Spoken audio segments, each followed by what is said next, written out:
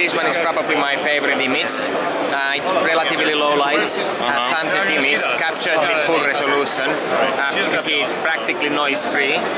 But that's where it gets amazing when you zoom in. That's already nice. You see that there's no noise. When you zoom in more, that's that's quite mind blowing. Yep. So that's the resolution we're getting out, and that's a full resolution image. How big is the file?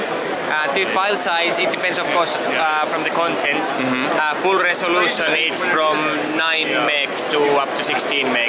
Okay. And, So uh, it's it's pretty big.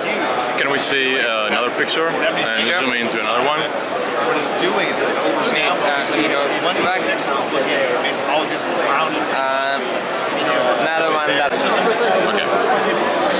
so zoom in, zoom in more, that's pretty good detail. Yep. Wow. That's very cool. But that's just a part of the story. Um, that's the full resolution story. So of course you, you want to get that, you want to get the hyper resolution. Um, but with that you get the pretty big file size. And, and that's not what we are really pushing for. We are not pushing for big file size because we are really pushing for this kind of rich communication, Facebook, Twitter. That's what the Nokia really is all about.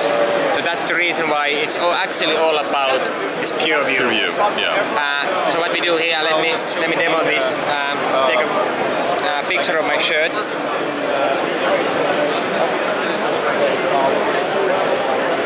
So now, uh, that's actually a five.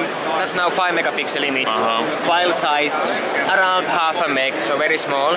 But when I zoom into this one, you can actually still see the fabric of my shirt. Yeah. So now what we're talking about is that the details are from 41 megapixel sensor, file size is from Five- 5, five megapixel megapixel. image, and, and that's the really the amazing part.